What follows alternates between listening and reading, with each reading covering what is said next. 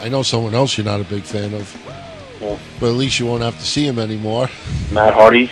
Uh, well, uh, well Matt Hardy. Uh, uh, I don't even want to talk. Oh, about Matt. Hardy. I just want to put under a bus. He, I, I, I, let's let's rip him. he's such shortly. a dopey bastard.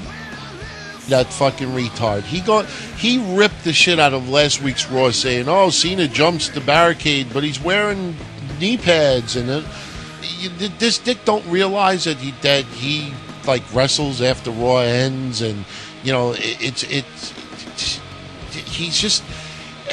If I were Matt Hardy, I would not be. He's, so angry he can't get the word. No, no, no. If I was Matt Hardy, I would not be revealing to people that I'm staying at home Monday night and watching Raw.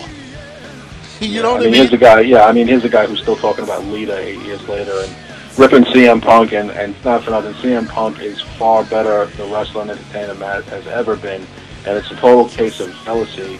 And uh, now he's dragging his moronic friends in, and we all know that already. That idiot, that other tattooed punk rock idiot, uh, with Shannon Moore has said stupid things in the Oh past. yeah.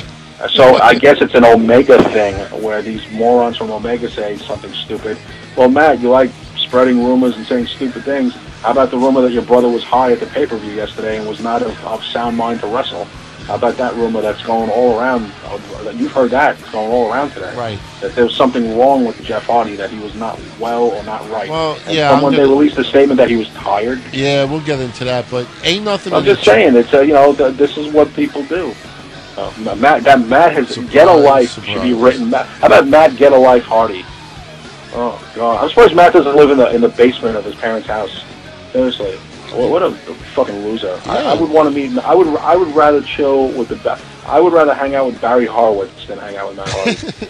uh, I would rather I would rather hang out with the biggest job guy in the business than even meet Matt Hardy for five seconds in my life. I have no love for that dude Yeah. at all as a person, as a wrestler. Never liked him even when he was in the Hardy Boys.